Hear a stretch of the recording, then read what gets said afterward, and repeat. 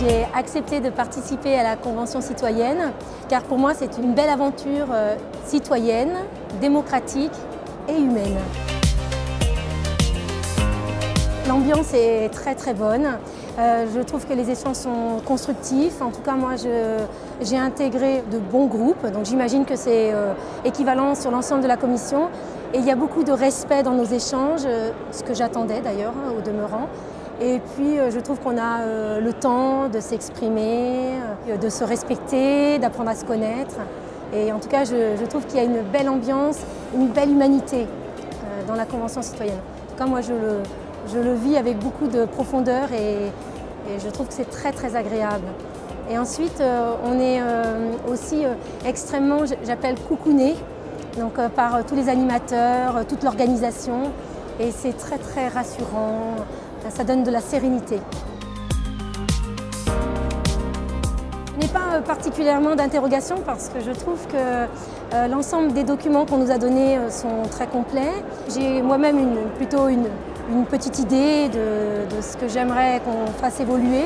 Je trouve que les débats euh, nous apportent euh, énormément d'éléments et quand euh, il me manque des éléments, je n'hésite pas à relire les documents qu'on nous a donnés ou éventuellement aller rechercher des informations auprès d'articles. Et je trouve que tout est bien fait pour qu'on puisse s'approprier ce sujet avec voilà, sérénité, j'aime ce mot euh, qui correspond un peu à ce que j'attends aussi de cette convention, que les débats soient sereins, respectueux et qu'on puisse aborder ce sujet important avec euh, respect et euh, sans tabou de pouvoir commencer à construire les délibérations et, structurer notre pensée. Ça c'est important pour moi qu'on puisse prendre le temps de bien structurer euh, les pensées des uns et des autres pour pouvoir trouver euh, un consensus et faire évoluer euh, ce débat pour l'ensemble de la société et que ça puisse apporter à chacun de la transparence pour pouvoir aborder avec ses proches, les gens qu'on aime, ce sujet souvent délicat.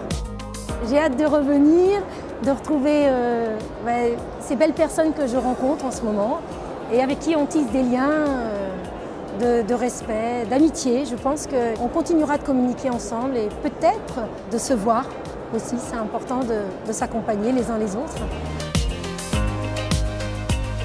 Je suis euh, trois mots, je suis euh, enchantée, j'ai hâte de, revenir. Oui, je voulais dire aussi, euh, enfin, on développe ici le sentiment d'appartenance.